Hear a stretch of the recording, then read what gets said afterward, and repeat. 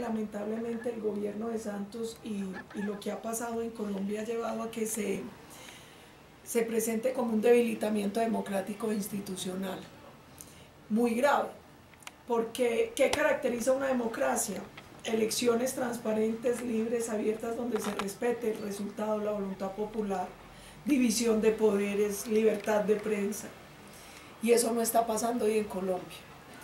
Juan Manuel Santos ganó la reelección robándose la segunda vuelta, robándosela comprando votos y cambiando resultados en registradurías municipales y departamentales.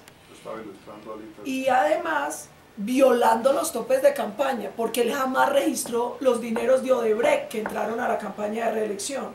Y la constitución es muy clara, si se violan los topes de campaña hay pérdida del cargo y pérdida de investidura. Entonces él ha minado la figura del Ejecutivo y del presidente por las trampas. Otra fue la que hizo en el plebiscito. Se había comprometido con un referendo para refrendar los acuerdos de La Habana. Cuando vio que no podía ganar, lo cambió por un plebiscito. Al plebiscito le bajó el umbral, amenazó a los colombianos con guerra urbana, con impuestos, fue y amenazó a los alcaldes y gobernadores, al Papa, lo puso a decir que, venía si ganaba el sí. A pesar de todo eso en, una, en un acto que yo creo que es de rebeldía y heroísmo democrático, las mayorías dijimos no en las urnas. Y a pesar de eso, él burló el resultado del plebiscito y se valió de una constancia en el Congreso para refrendar los acuerdos.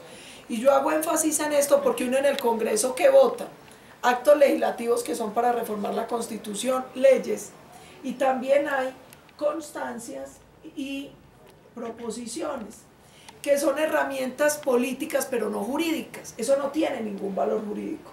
Y él a través de una proposición refrendó con sus mayorías el acuerdo, donde además hay un prevaricato porque los congresistas no estaban facultados para refrendar acuerdos de paz. Eso, que, eso ya empieza a mostrar un debilitamiento democrático e institucional.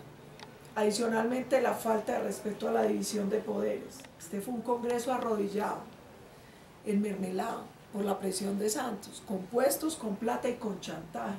Porque cuando estábamos votando proyectos de ley, a todos los que estábamos ahí nos consta que se iban de puesto en puesto diciendo, acuerde los puestos que usted tiene en tal parte, acuérdese que usted tiene un proceso en la fiscalía, acuérdese que usted tiene tal entidad, y así los presionaron a votar durante estos casi cuatro años. Lo mismo pasa con la rama judicial. Cuando a Santos se le cayó en el Congreso lo de las 16 circunscripciones, que no eran para las víctimas sino para la FARC, él de manera ilegal hizo votar tres veces una conciliación. Las conciliaciones se votan una vez, solo se votan por segunda si hay empate. Él hizo votar eso tres veces para tratar de imponer las 16 curules que iban a hacer para la FARC. Cuando no logró hacerlo en el Congreso, fue a tratar de meterlo vía judicial con jueces de Cundinamarca. Lo anunció el ministro. Ah, el ministro lo anunció, trataron de alterar las mayorías. Entonces ahí uno ve que aquí la división de poderes no opera. Y con el tema de libertad de prensa, la memoria de los colombianos es muy frágil.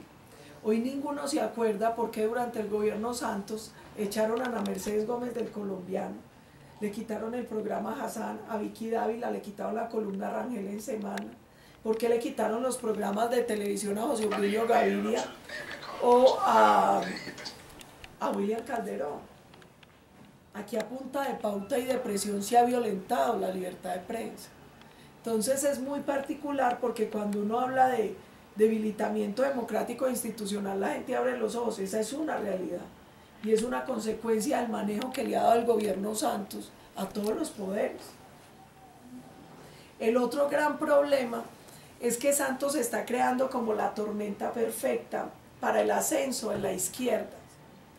Está, haciendo, está siguiendo el mismo guion que se siguió en otros países de América Latina.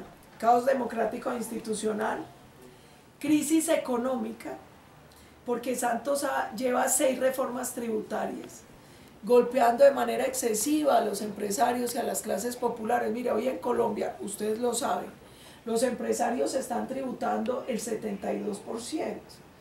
Eso, lo hace, eso hace al país poco competitivo y atractivo en la región, porque es una carga tributaria muy alta.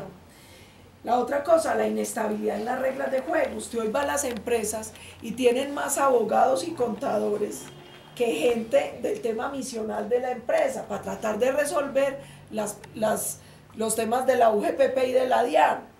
Esa es la realidad. Entonces tenemos que está estrangulando a, los empresarios, pero a su vez a, las, a la clase media, a la clase popular, con impuestos regresivos como el IVA. Entonces usted se va a ver hoy y eso es como un círculo vicioso. El IVA que hizo bajo el consumo, al bajar el consumo, las empresas venden menos, al vender menos empiezan recorte de personal. El pueblo con hambre no piensa. Entonces cuando yo les digo se está creando la tormenta perfecta es porque asfixiar a la clase empresarial y a los trabajadores con impuestos, ¿a qué lleva?